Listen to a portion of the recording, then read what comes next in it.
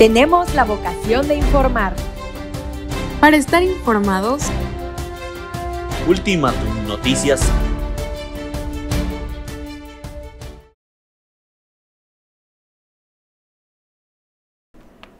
Hola, ¿qué tal? Muy buenos días. Bienvenidos a Ultimatum Noticias en el horario matutino.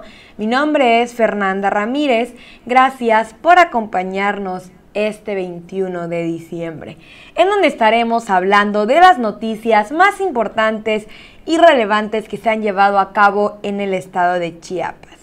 Comenzamos con las noticias de esta mañana. Le comento que Chiapas es la en Chiapas el suicidio es la cuarta causa de muerte.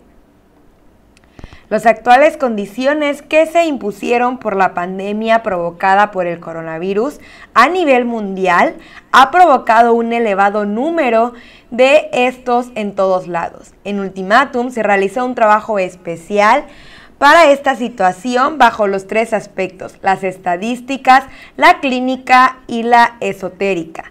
Los adultos han normalizado el estrés, las fobias, la ansiedad y el distanciamiento social, lo que causa depresión.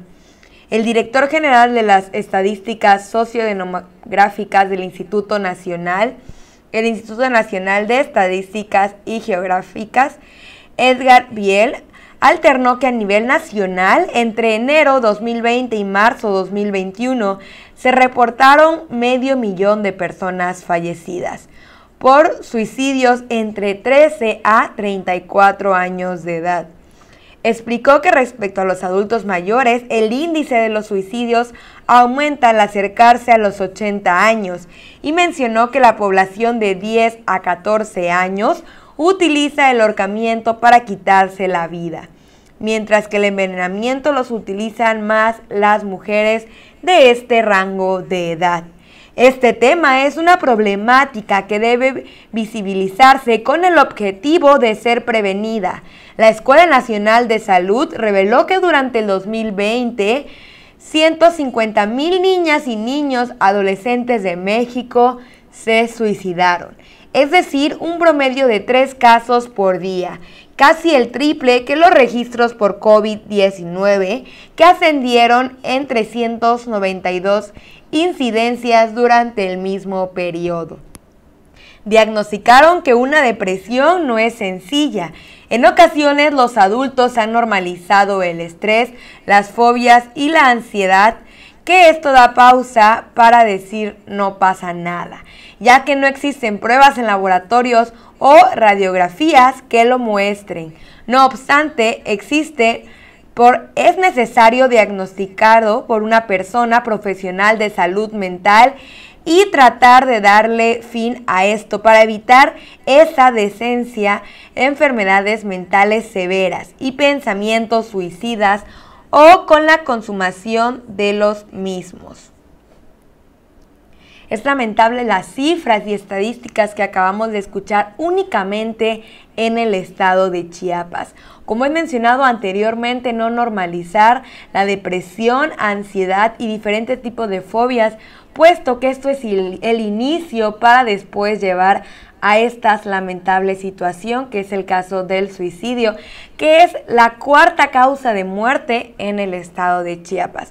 De igual manera se invita a toda la población a no nada más tener cuidado de la salud física, sino de la salud mental y llamar a los diferentes números de apoyo para poder evitar este tipo de lamentables acontecimientos.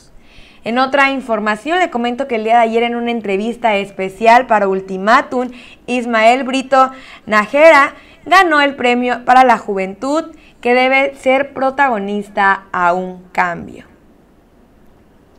La política es una vocación, dijo Ismael Brito Nájera cuando ganó el Premio Nacional de la Juventud 2020-2021 en la categoría de 12 a 17 años. En aportación a la cultura política y a la democracia, al tiempo de citar, me gusta ayudar y servir. Hay muchos espacios en los que se puede hacer esto. Chiapas ahora tiene una justicia social y ver la gestión de su papá, Ismael Britos Mazariegos, diputado federal de Morena, es la inspiración de él, para ayudar a la gente más en la toma de decisiones, para apoyar en la mayoría a las personas que lo necesitan. Enfatizó que este premio es un sueño cumplido y está consciente de que lleva un gran compromiso, no solo por estar representando al Estado, sino a las similitudes mexicanas, por lo que es un motivante para seguir y trabajar aún más. Su trayectoria en diversos foros políticos lo ponen como un relevo generacional más completo en la historia de sus abuelos y sus padres en parecida.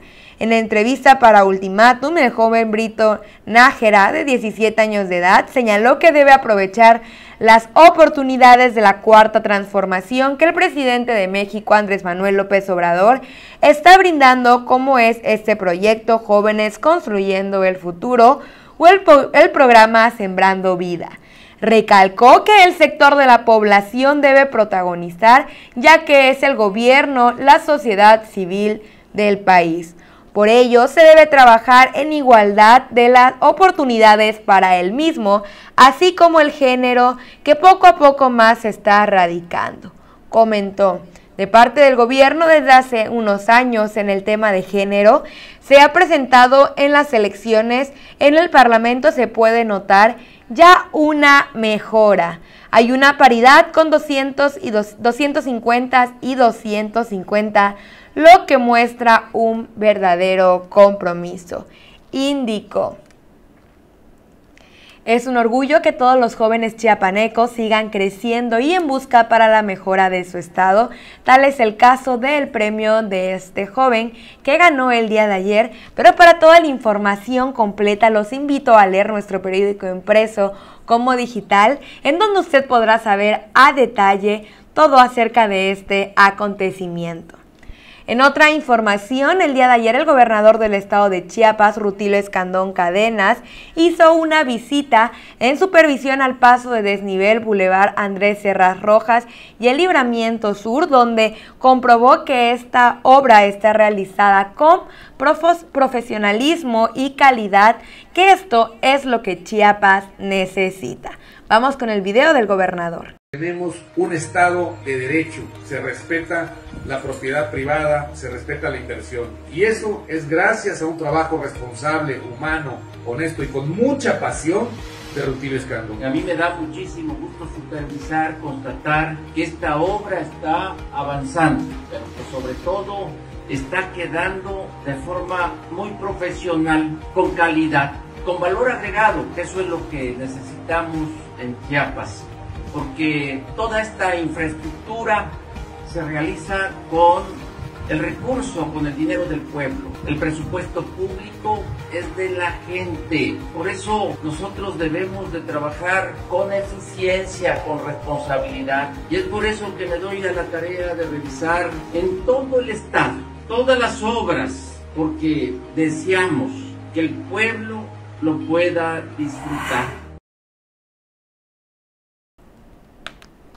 En otra información le comento que el día de ayer continúa la repartición de los cuerpos extranjeros que perdieron la vida hace unas semanas en la carretera Tuxtla Gutiérrez, Chiapa de Corzo.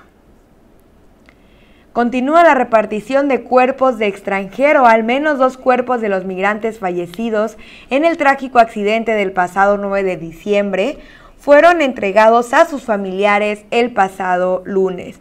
Lo anterior corresponde a dos ciudadanos de la República Dominicana, quienes infortunadamente iban en el tráiler.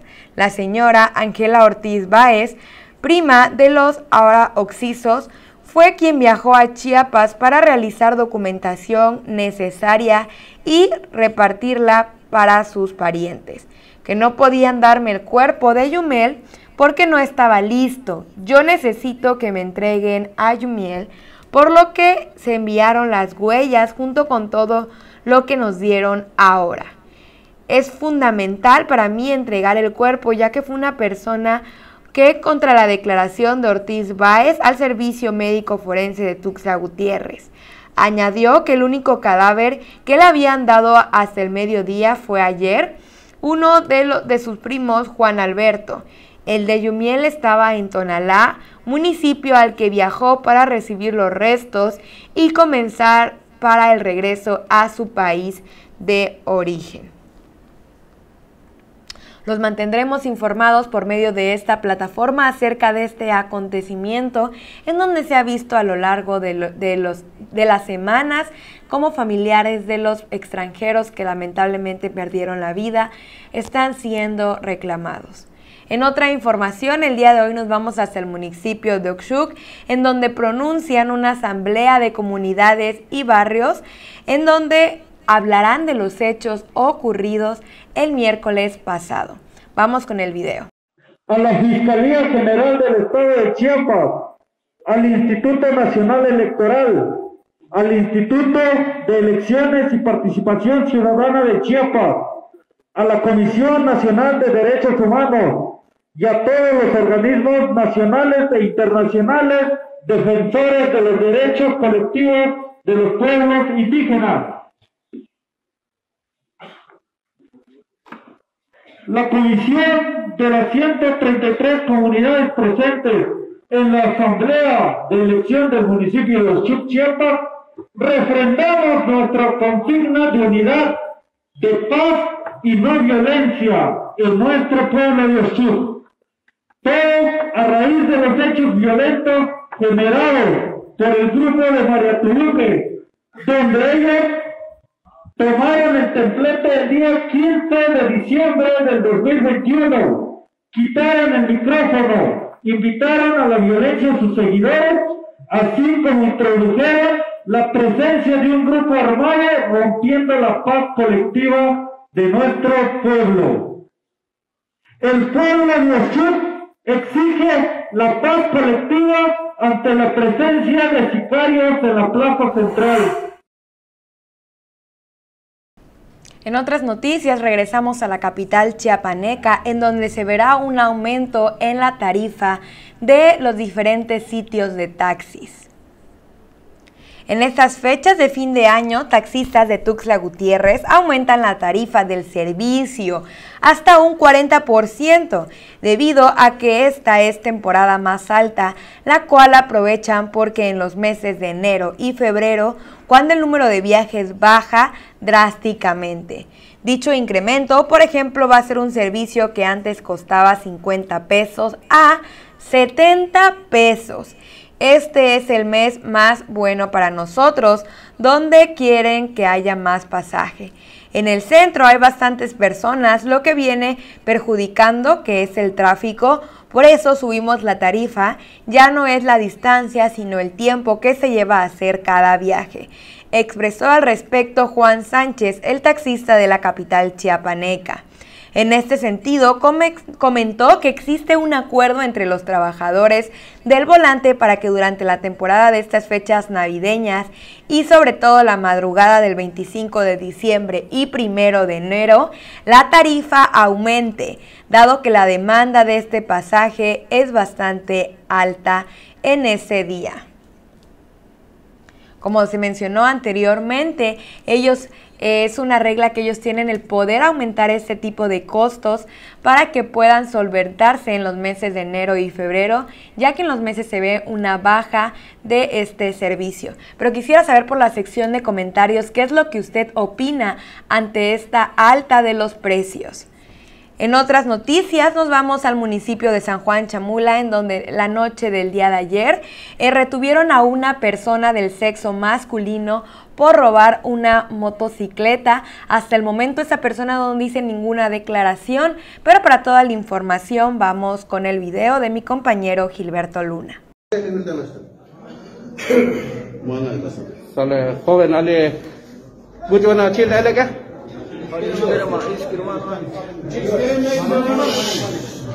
بوچوال كرم رئيس كمان ولما قلت اخوته اللي كم دران في النرواي هو اسمه مارسلينا مارسلينا وجا لاير قال لك بوتو نه بير خارج لاير من بريمرا هنا مو يقول قال كي يونج كي ال كاخ ما قال لاير بون اسك كيل قد يموت له lo hecha mi kelka he mustunch saco pe le kuja ti ya kik pande shwonch da listu May kasi yung tati ko ta kwarto na. Joder, los tipos como es. ¿Qué chesh? Nada, que Bueno, compañero alerta chamula iskirawano. Ikam da rancho.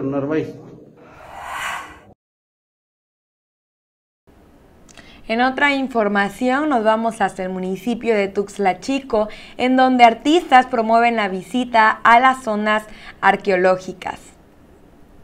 Tras el cierre de la zona arqueológica de Izapa por la pandemia, ahora se ha logrado su apertura y han empezado a llevar diversos artistas y promotores de la cultura. Buscan con ello una derrama económica a través de la visita de turistas locales, nacionales e internacionales. La crisis por la pandemia provocó el cierre al público de la zona arqueológica, situación que afectó a los artistas culturales del municipio de Tuxtla Chico, principalmente aquellos que dependen del turismo. Israel Ramos, artista plástico de Izapa, señaló que después de dos años de la pandemia, nuevamente la apertura de la zona arqueológica y con esto puede empezarse a trabajar porque muchos dependen del turismo que la actividad económica. Dentro de la zona arqueológico Izapa, en el centro ceremonial de los mayas más importantes de Latinoamérica, se encuentra la Casa Izapa Grupo A, un lugar donde promueve la cultura izapeña a través de las piezas artesanales que con ellos mismos elaboran. Se invita a toda la población que se encuentre cerca de Tuxtla Chico, así como Tapachula, a poder acudir a este centro de cultura, ya que se han visto diferentes artistas por estas épocas, así como se ayudará con el consumo local. En otra información nos vamos al reporte del clima del estado de Chiapas. En la capital chiapaneca veremos que la temperatura bajará desde los 28 hasta los 17 grados con una probabilidad de lluvia de un 0%. En Tapachula se pronostica que la temperatura baje desde los 33 hasta los 24 grados con una probabilidad de lluvia de un 48%. En San Cristóbal de las Casas, la temperatura bajará desde los 26 hasta los 14 grados, con una probabilidad de lluvia de un 87%.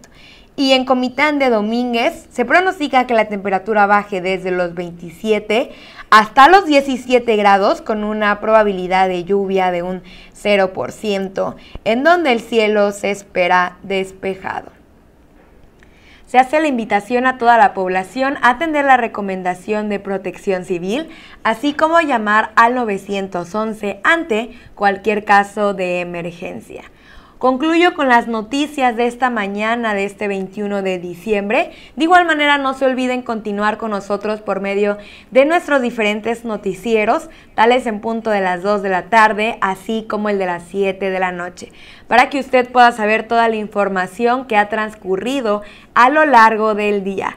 Se hace la invitación a seguirnos en nuestras diferentes plataformas que aparecemos como Ultimatum MX en Facebook, Instagram, Twitter y ahora TikTok para que usted pueda ver toda la información de manera breve en el momento exacto. Mi nombre es Fernanda Ramírez y me despido. Nos vemos el día de mañana en punto de las 9 a.m. Hasta la próxima.